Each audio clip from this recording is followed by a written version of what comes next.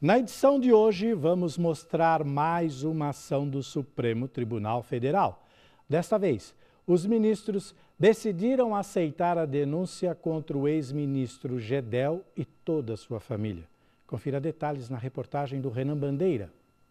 A segunda turma do Supremo Tribunal Federal decidiu na última terça-feira, por unanimidade, receber a denúncia de lavagem de dinheiro e associação criminosa contra o ex-ministro Gedel Vieira Lima, seu irmão, o deputado Lúcio Vieira Lima, do MDB da Bahia, e a mãe deles, Marlúcio Vieira Lima, de 84 anos. O caso está relacionado aos famosos 51 milhões de reais em espécie encontrados no apartamento de um amigo de Gedel em Salvador. O ex-ministro foi preso preventivamente três dias após encontrarem o valor no apartamento. Pouco tempo depois, a Polícia Federal identificou as digitais do ex-ministro no dinheiro, confirmando que a quantia era dele. O ministro que analisa o caso, Edson Fachin, afirmou que os depoimentos, as provas documentais e periciais são elementos suficientes para que seja aberta ação penal.